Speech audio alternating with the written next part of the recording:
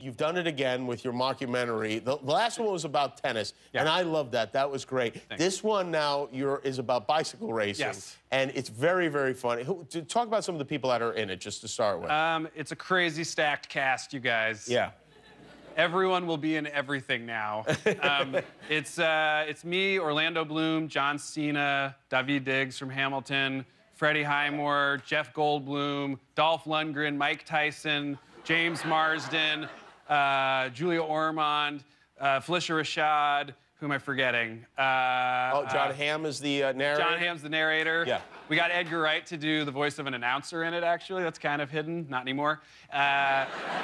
There's a guy I know named Chris Romano whose penis I got to see in there. Yes. It's a very penis-heavy project. we believe in equal opportunity nudity in our project.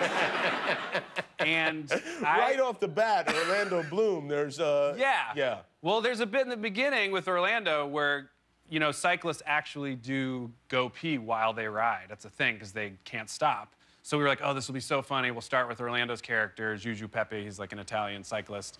And uh, we were like, and he'll start going pee and it'll be crazy. It'll be like, Orlando Bloom showing his that's so crazy. And we shot it and everyone was laughing. We were like, this is so awesome. People are gonna be so shocked. And then like a week after we wrapped shooting, like a thousand photos of Orlando Bloom with his out.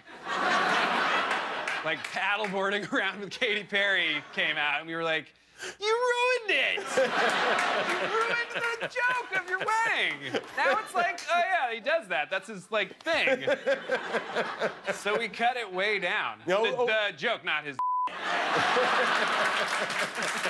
Very considerate of you.